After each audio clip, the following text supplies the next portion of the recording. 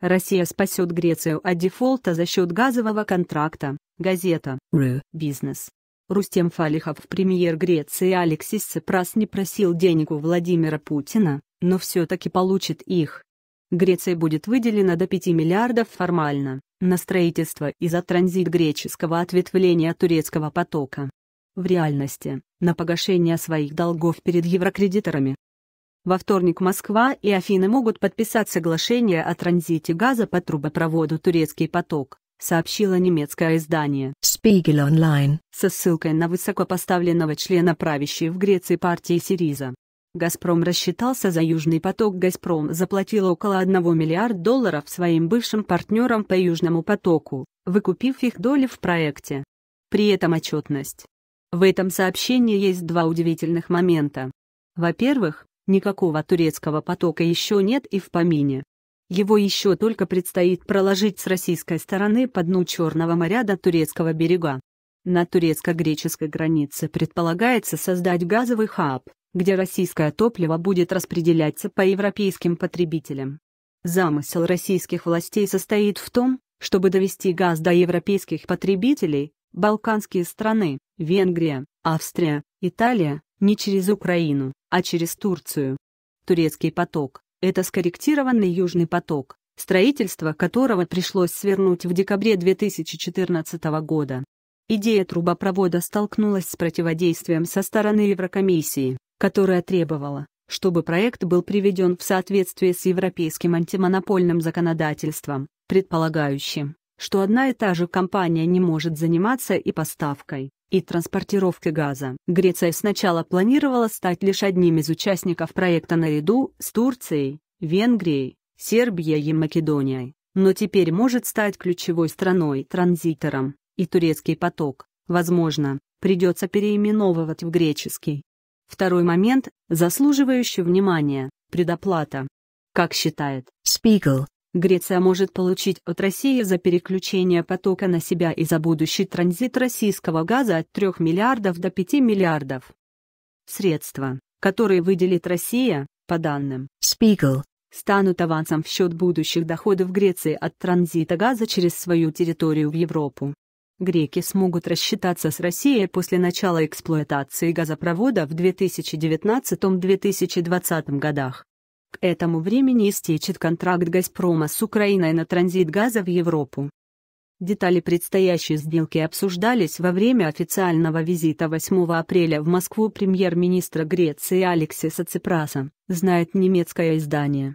Между тем Путин по итогам встречи с Ципрасом заявлял, что Греция не обращалась к российским властям за финансовой помощью.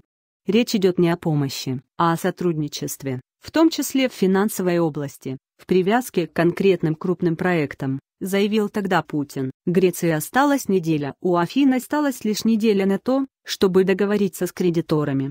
Но пока МВФ не дают отсрочки, ни разу за 30 лет фонд не сделал исключения и... Он уточнил, что Россия и Греция рассматривают возможность реализации совместных проектов, доходы от которых пойдут на погашение греческих кредитов.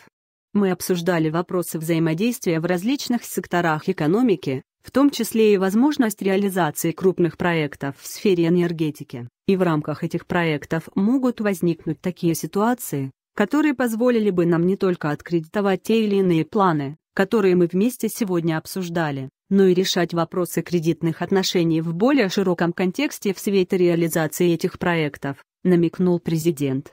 Реализация соглашения между Грецией и Россией о постройке газопровода, соединяющего турецкий поток с Центральной Европой, потребует около 2 миллиардов, оценивал ранее министр производственной реформы, охраны окружающей среды и энергетики Греции Панатислав Азанис. Широкие кредитные отношения, как считает Spiegel. это 3-5 миллиард. Но дело не столько в размере кредита, сколько в том, на какие цели он пойдет. Похоже, никто ни в Афинах, ни в Москве особо не скрывает, что деньги пойдут не на трубу, а на то, чтобы не пришла труба взаимоотношениям Греции и Евросоюза. Греция – безнадежный должник. Страна задолжала Европейским банкам МВФ. По данным греческого казначейства, госдолг Греции в 2014 году вырос до 185% ВВП. Это более 300 миллиардов при этом, согласно прогнозу института. Levy. Госдолг в 2015 году вырастет до 205% ВВП. На этой неделе глава МВФ Кристин Лагард отказала Греции в рассрочке по долгам. К середине мая Греции нужно заплатить фонду почти 1 миллиард долларов. Россия, щедрая рука Россия готова оказать финансовую помощь Греции, Белоруссии, заявил министр финансов Антон Силуанов. Помощь может быть предоставлена в виде льготных. Если кредиторы не пойдут Афинам навстречу, страна будет вынуждена объявить дефолт.